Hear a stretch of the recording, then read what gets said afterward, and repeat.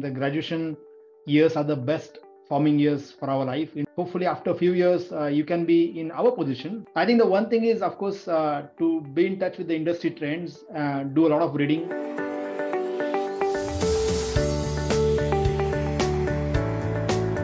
I think the message is to just make full use of this uh, scholarship and these opportunities, right?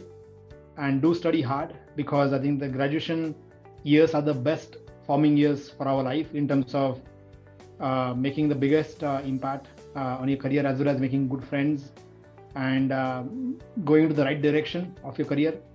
Uh, so if someone studies really well uh, with commitment, make some good friends as well as there's some if it's in professional degrees of course uh, make some research and stuff right i think that's going to help them a lot right in the long term and yeah. uh, and hopefully hopefully after a few years uh, you can be in our position in terms mm-hmm. of in some other students down the line to help them with the uh, further scholarship right and take this journey forward it's pretty interesting to see that the chat gpt now figures out almost every conversation whether it's a client conversation or these yeah so that's that's great I think the one thing is, of course, uh, to be in touch with the industry trends, uh, do a lot of reading, uh, do take part in some of the conferences. Nowadays, the good thing is there's so many uh, uh, mass education programs, right? Um, either on YouTube, Coursera, that everyone can just keep up to date.